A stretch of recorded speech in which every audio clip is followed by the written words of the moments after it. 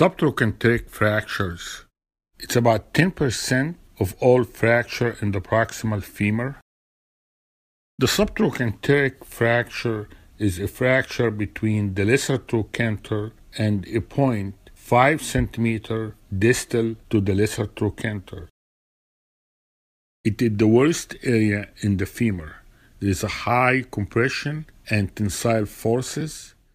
There is less vascularity, less healing potential and ability. It's made of hard cortical bone that doesn't heal well.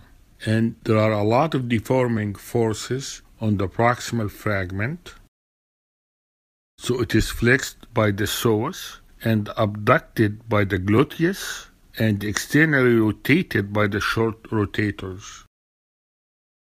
Is a high risk of implant failure. You need bone to bone transfer in this area, especially if you're going to open the fracture. There are two types of subtrochanteric fracture the atypical and typical fractures.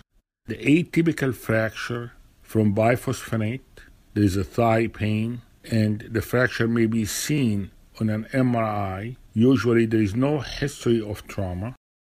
Using biphosphonate for long period of time may cause this atypical subtrochanteric fracture of the femur.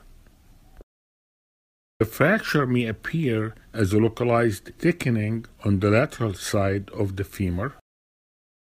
So, how the fracture looks in the X ray, it's easy to remember. It's caused by bending forces. Bend a bone, there will be two parts the tension side, tension T transverse. So, the transverse component will be on the lateral side, and the compression component will look oblique in the medial side transverse component on the lateral side, oblique on the medial side, looks like a spike on the medial side, and there is no comminution. The typical fracture occurs usually from trauma, sometimes from high energy trauma, such as car accidents or a fall.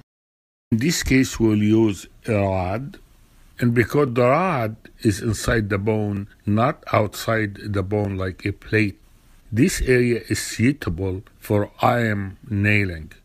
So the rod location will result in a shorter lever arm and lower bending moment on the device. The rod will be closer to the center of motion of the body than the plate, which is in the lateral surface of the bone further away from the center of motion of the body. Therefore, the rods are subjected to smaller bending loads and less likely to result in fatigue failure. Also, the IM rods are minimally invasive and it does not destroy the extra extramedullary blood supply. They are load sharing, so you can initiate weight bearing Rods are stronger than plates. You must reduce the fracture before reaming and insertion of the rod. The disadvantage is it can create varus and procurvatum deformity, which is flexion. More varus with trochanteric entry.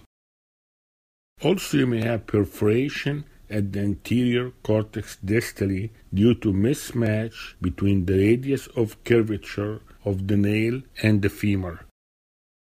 The rod is not preferred in the treatment of subtrochanteric fracture that extend into the piriformis fossa or the greater trochanter. You probably need to use a fixed angle plate, and you probably need to avoid excessive dissection medially and you may use bone graft to avoid non-union. You really need bone to bone transfer medially and try to avoid early weight bearing. The plate induces fracture healing through primary bone healing.